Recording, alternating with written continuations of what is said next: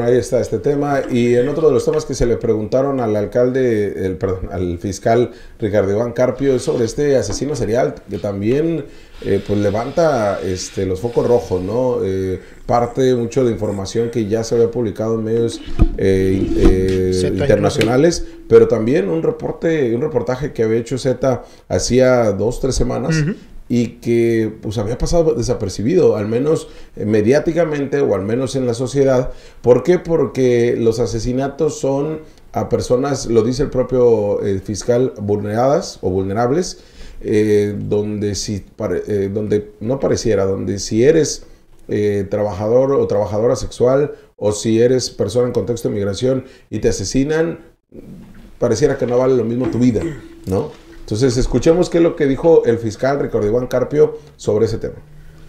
Los que, por supuesto, ¿no? Se hicieron unos trabajos de cruce de información, de analítica, de inteligencia por parte de, nuestro eh, área de investigación eh, de homicidios en conjunto con estrategias eh, de la institución y se encuentran correspondencias de modos operandi, de circunstancias que ocurrieron, de que es un sujeto sociópata, que es un sujeto que ataca, en este caso, a personas en condición de vulnerabilidad, en solitario y que las conduce eh, con engaños a estar en una eh, ocasión que le permita el agredirlas eh, en, su, integridad bajo el mecanismo de mantener una actividad privada con estas mujeres. Hemos tenido las estrategias necesarias para neutralizar ya este tipo de actividad y seguramente en muy poco tiempo podríamos estar informando la situación de que se encuentra este sujeto detenido y vinculado a un proceso penal en su contra.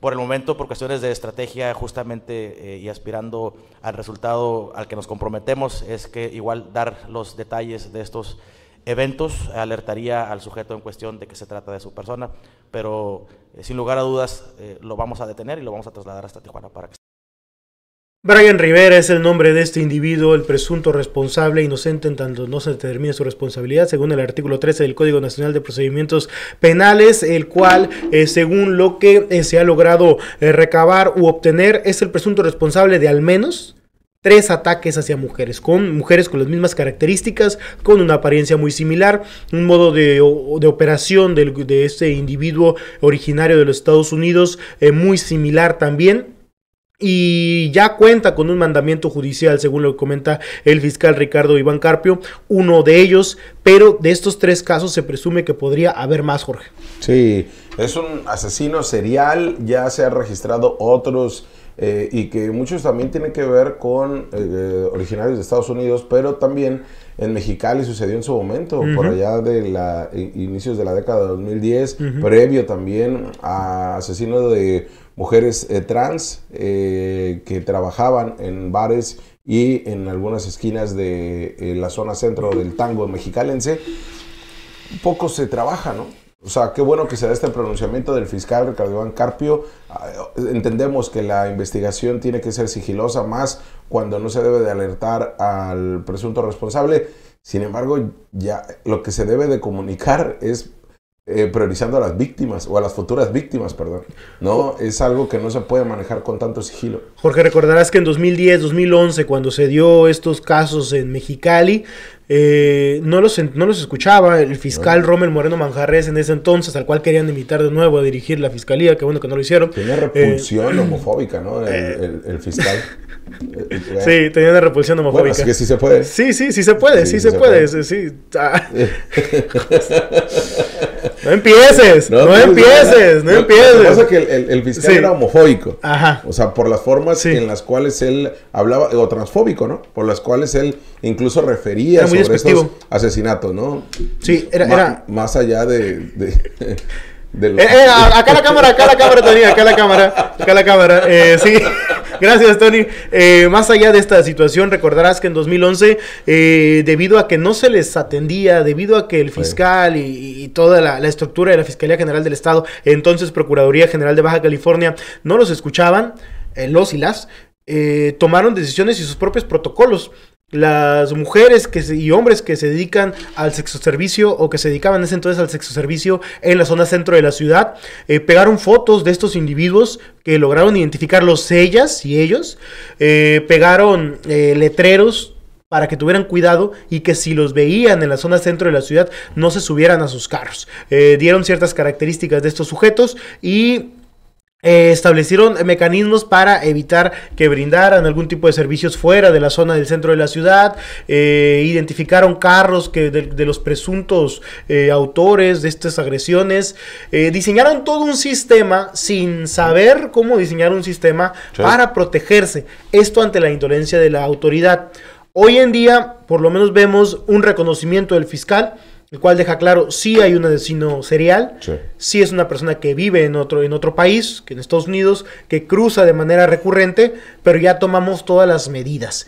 Y como dices Jorge, si bien es importante la detención, es, es muy importante capturarlo, la prioridad es proteger a las posibles víctimas, que ya se sabe más o menos dónde, dónde opera este individuo, que era en la zona de la Delitas, de, del Hong Kong, toda esta eh, zona de tolerancia que hay en el municipio de Tijuana. Y quienes terminan dando toda la información, incluso hacen la propia investigación, son las mismas trabajadoras y trabajadores de, estos establecimientos. ¿eh?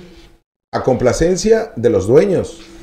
O sea, la forma en que se ha asesinado, recordarás este feminicidio que ocurrió, eh, que fue hace un año creo, o menos de dos años, en el, en el este motel que se encuentra en Costado de las Delitas, ¿no? Donde también era un hombre originario de Estados Unidos y que con, una, con un cuchillo la degolló, eh, que fue videograbado y fue a complacencia de todos estos bares y, y antros de Tijuana que hablamos de la zona norte donde por ser patrocinadores de campaña se les deja hacer absolutamente todo y donde no hay una vigilancia, donde tienen ellos equipos de seguridad, pero más son sacaborrachos que realmente preventivos o de contención de la violencia que ahí se genera y de feminicidios que después terminan siendo, ¿no? Al igual que en estos cuarterías, hoteles, moteles de toda esta zona que le llaman de tolerancia, pues pareciera que es tolerancia de la violencia. Sí, hay indolencia, ¿no? Parece de zona de indolencia. Y además pues, pasa lo mismo, ¿no? Lo que comentabas en, la capital del estado, que hasta ahorita se hace un protocolo para eh, los policías y eh, los policías que trabajan en esta zona y no anden deteniendo a mujeres eh, o hombres trans en esta misma zona. Y fíjate, no, curioso, bueno, no curioso, no, eh, preocupante. Eh, sabemos que todo este tema del sexo servicio hay, mucho machismo eh, en el mismo, es evidente, pero tanto de las personas que, que llegan a, a, recibir el servicio, que buscan el servicio, pero también como tú lo comentas, Jorge, de los dueños que no solo explotan, porque al final de cuentas, como lo quieren establecer, es una explotación de carácter sexual, sino que además eh, no les interesa realmente el bienestar en ningún sentido de las propias mujeres y permiten que se cometan este tipo de agresiones. En ese caso, hubo una situación de asesinato y por eso la autoridad intervino y por eso eh, pues rompieron todo para poder buscar o dar solución a este tema.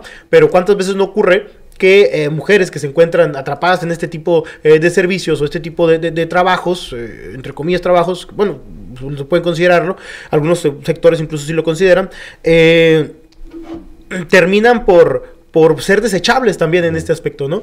Y que no importa que las golpeen, no importa que las agredan, pero todo este tipo de conductas, todo este tipo de acciones permisivas terminan en esto, ¿eh? O sea, concluyen en asesinatos, concluyen en feminicidios, concluyen en violencia, concluyen uniendo al sistema que ya tiene que estar eh, sé, ¿no? Esta, esta visión de, de normalizar este tipo